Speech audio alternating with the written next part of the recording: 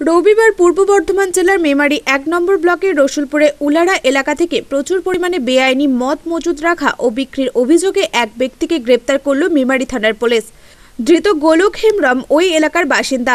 Police সনাতন হেমব্রমের বাড়িতে হানা দিয়ে চল্লিশ লিটার বেআইনি মদ সহ তাকে গ্রেপ্তার করে।